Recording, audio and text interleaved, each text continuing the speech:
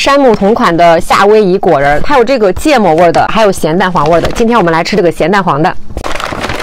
一大包里面是二十五小包左右，以克数为准。山姆的话，他们这一款卖九十九，你看咱这个价格便宜了一半还不止。这么一大包，里面都是这样的独立小包装的，跟那个配料都是一样的。你看每一个都是胖嘟嘟的个头，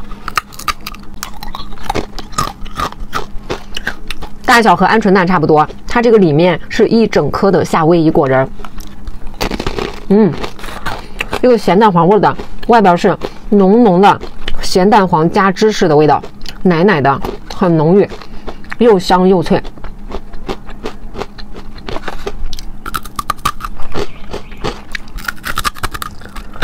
都是一整颗的夏威夷果仁哦，外壳很酥脆，很香的黄油味儿。这两个口味比起来的话，我个人觉得我会更喜欢芥末味的。芥末味的就是吃起来辣辣的，很冲，很上头，然后里面的坚果很香。这个就是，如果你喜欢吃那种咸蛋黄加芝士口味的话，这个口味你会很喜欢。不过第一次吃的话，建议尝一下那个芥末味的，这个超划算。